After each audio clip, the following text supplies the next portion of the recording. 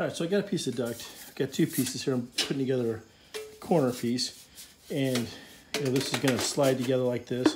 The question that I think that people have that they just don't know and they don't wanna ask, um, which way does this go?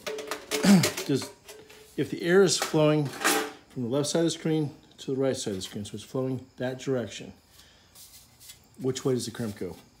So if the air is flowing that way, what you want to do is you want the air to flow towards the crimps. And when I put this together like this, the uh, duct is going into this one here. So it's going to go in. If there's any air leakage, it's blowing this way.